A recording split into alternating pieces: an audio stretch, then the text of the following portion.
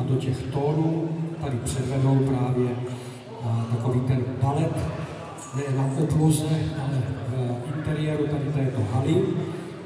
A je až neuvěřitelné někdy, jak ty modely jsou schopné kopírovat jednotlivé stěny a podobně. Nyní slyšíme přípravu v podstatě hudby na vystoupení prvního soutěžícího, takže se nám tam ozvou nějaké ty tóny.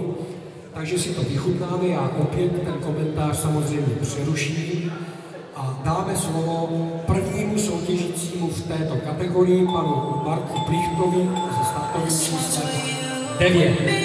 Takže prosím.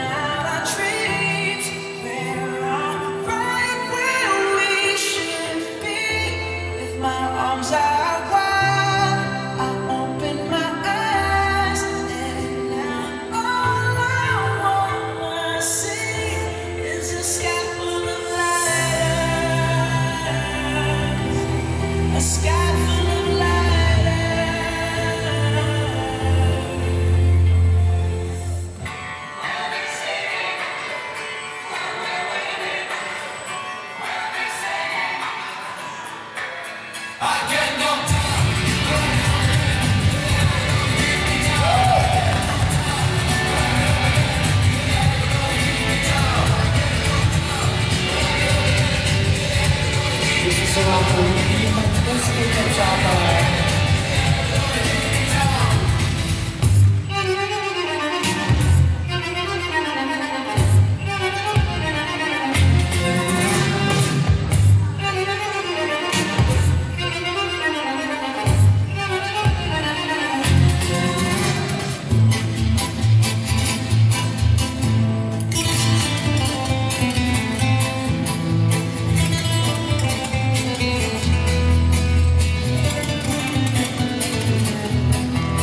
楽しいもの